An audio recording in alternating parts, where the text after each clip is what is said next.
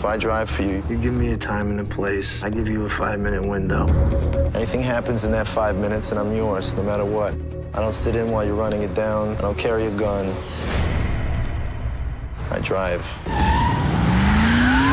What the flick, everybody? Welcome to the show. If you're excited to see Drive with Ryan Gosling and Carey Mulligan, because you're going to expect a lot of people driving, Vroom. you'll be disappointed. You, you Yeah. might be a little disappointed. Unless y- what you, because what really happens is just a tremendous amount of driving. Right. Like, not so much chasing and turning. It. It's more. Easing into first, look both Right. ways, check the mirrors. Exactly. But anyway. Not quite driving Miss Daisy. No, not right. Just driving. Like I'm going out Closer to that than say Fast and Furious. Uh, okay, uh, Matt, you're describing. So uh, Ryan Gosling plays a stunt performer who, a stunt driver who moonlights as a wheelman uh, for organized crime, shadowy figures. Uh, he moves after every heist that he takes part in. Uh, we catch him as he's moved into a new building up the hall from uh, Michelle. Willi- no, Carey Mulligan. Ka-doom, psh. So you just moved to LA? No, I've been here for a while. What do you do? I drive for movies. Isn't that dangerous? It's only part-time. You put this kid behind the wheel. There's nothing he can't do. Kid, I want you to meet Mr. Bernie Rose. My hands are a little dirty. So am I. What's the job? When you get your money, his debt's paid. You never go near his family again.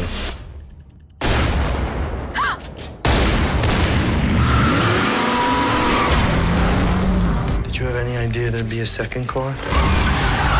He said there would be another car to hold us up. Whose money do I have? I'm gonna tell you something. Anybody finds out we're both dead. That's why this driver's got to go, Bernie. He's got to go. So let me say something quick about that because we saw some of that first scene there. Uh, the movie opens with uh, almost no speaking, but you, you mentioned what he does. It was his moonlight job. He- he's sort of driving for bandits. Right. Um, and there he is driving, waiting for the uh, waiting for the bandits to come out of whatever they've stolen. He waits exactly five minutes. Right. It's a cool premise. He sets a watch. He doesn't care about them. He just cares about the job. And then he, there's an elaborate escape from the cops, very sophisticated escape Right. from the cops. I thought that was sensational. Like I was, th- was. this movie, it was Yeah. headed 13 minutes in or whatever it is, eight minutes in. This movie for me was headed for a nine, nine and a half. I thought it was sensational. But then that was the end of that. and then you get the movie. Um, I, I, here's the thing: I'm not a big Michael Mann fan, but I think if you are, you'll dig this movie because for me, I liked so much of it, but.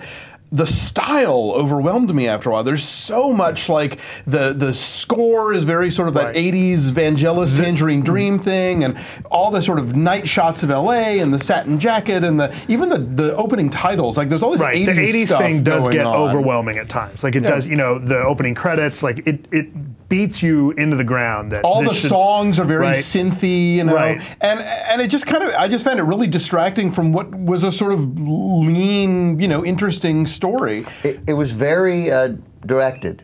I Yeah. felt like there was a giant announcement throughout most of it, and and like, but I I- like well by a very talented person. Yeah, I but, love But who was Bronson. constantly saying, yeah, Bronson was wonderful. Constantly, uh, constantly saying that he was constantly saying, uh, and this was not like Bronson, but constantly saying. Look! Look at! Yeah. Look what I can do! And, Right. and afterwards, I would say you're very good. No, but his later film, tell us all the time. But this director's later film, Valhalla Rising, is very much like this in Really? that it's look at me, I'm directing, and it's and it's a cool story. But if you if it does get in the way a little bit, and that's what happens here. There, there's a Steven Soderbergh expression that he used in a book once where he talks about directors who stand between the audience and the screen and wave their arms around, and that's uh, Yeah. this Yeah, guy there's- Nicolas Vinding Refn. Refn, Refn, however you yeah. say his name. Uh, and I, you know, a big fan of Bronson. This time it's it's too distracting, and also one of the big plot motors here, if you'll pardon the expression, is the is is Ryan Gosling's infatuation with Carey Mulligan. Like he's willing to go through all this stuff so that her ex-con husband and child up- can be saved. totally You know? upend his life. Yeah, and their entire relationship is portrayed as these sort of like gooey smiles they exchange. Oh, see, I actually And I felt didn't- completely different about his motivation there. I actually felt like he was more bonded with the kid. Hmm. That's what I felt like. I felt like there was this unspoken bond with him and her son, and everything he's doing is for the benefit of the son.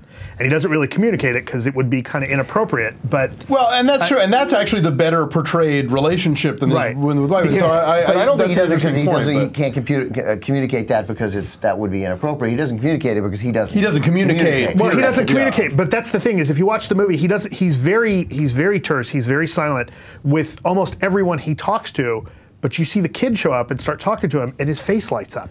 And I feel it's a really subtle performance from Gosling. I really liked this movie, although you know, as you said in the introduction, this is not a chase movie. This is not an action movie, and I think people are going to come out of this movie really pissed because they're marketing it. It is like being it's- sold, yeah, as, as, as a Fast and the no, Furious this kind is of. this is an 80s thing. style film noir. I thought there was a lot of 70s in the directing. Like to me, I saw the getaway in the directing, and I saw. Well, some sure, and Two Lane Blacktop yep, and The yeah. Driver, Right. which, which incidentally, both of those movies have protagonists who are just named The Driver, and Ryan Gosling doesn't have a name either. So, Yeah. you know. Yeah, see, this movie made me think of Manhunter, and it made me think of Both. To Live and Die in L.A. Like, Yeah. I definitely, I know it Definitely. made me think of Bright Lights, Big City, like with the music. Sure, okay. Um, just the like the title. The thumpa sequence- thumpa, the yeah, thump, yeah, yeah. Right. Um, Uh, Albert Brooks is great in this movie. Yeah. Uh, that is like one of my favorite performances this year. No, as, I think- and and not the usual Albert Brooks what you've seen before. He's a very scary Right. monster everyone guy. is good. no, He's Brian particular- Cranston is great. Yeah. Bryan Cranston is great Ron in this. Ron Perlman. Ron Perlman. Fun, fun, yeah. When is Ron Perlman not good? Christina Hendricks briefly is. Uh, Briefly, yeah. I you know, well, here's a good example of how they're marketing this movie wrong. Not only are they acting like it's some thriller,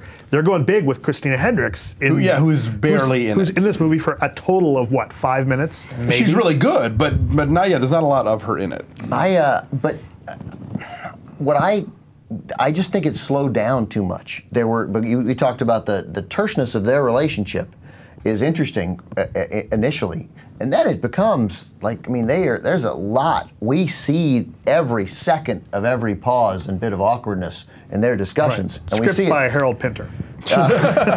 and we and we see it four or five times just with a lot of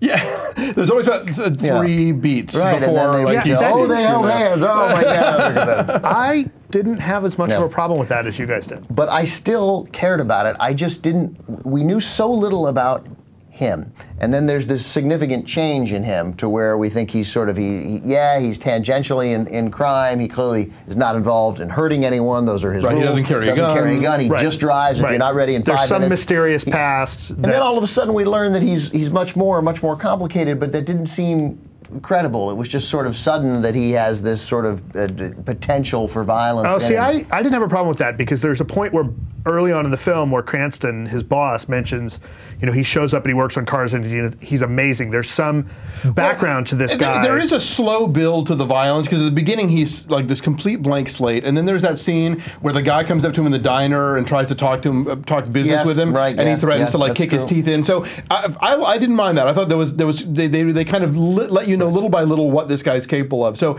and and and this is a director who I think has really handles as opposed to say Rod Lurie in Straw Dogs ma- masculine violence in a really interesting way. So that part I bought, but I just thought that um, as the movie progresses, it just it's so uh, again just just drowned in the style you know it was it was like it was like watching Marie Antoinette where I was like oh could we just Right. not enough with the filigree and just tell me the damn story Right. already The story- you know? It was so much like Marie Antoinette. well, I just I think it's it's it is over art directed in, costumes, the, in the way that Marie Antoinette was. It just that, that was what I just, made me think the, of I, am dwelling on it too much, but the, the the subtlety lost in him, the greatness in what we saw in that Ryan Gosling character in the beginning. By the end of the film, when he's just like walking around in a bloodstained jacket and he doesn't care where the police are, there's a carelessness to him that I just I, I found incongruous. That Oh, bothered me. It, it took away from a film that, in general, that uh, by the way, I, and I don't know that we're making this clear. That I liked and cared about what happened in the end, but it literally, I mean, it started at an A, and I kept thinking if it goes 20 more minutes, it's going to keep dipping. Like stop, and, and and it and it ended in time for me to still like it. well, good. All right, numbers. I, I think there's a, there's a lot to like here, but it, it ultimately didn't work for me, so I'll, I'll say six. Uh, not at all what I expected. Not the action movie I was expecting, but I still really like this. I give it a 7.5. Now, the performances were really great, and I was totally interested in what would happen at the end. And I, I just, uh, again, wish it had stayed a little truer to what was a sensational beginning. Yeah. Uh, I gave it a 6.3, so we're up to a 6.6. So, uh, which I feel good, like that we're saying, that's- go see, go see Drive, talk about it afterwards with your friends or anyone. All right. Uh, If what- you don't have friends. If you don't have, if you don't have friends, what do we have next week? Uh, next week is uh, what? Abduction and the Killer Elite. The Killer Elite and Moneyball. and Moneyball. Okay. Oh, Something. We'll we'll be back. Andrew, could you look more hungover? Uh, I'm very impressed. Ah, I'm really laughing, Andrew. a greasy pork sandwich in a dirty ashtray. I love that movie. Me too.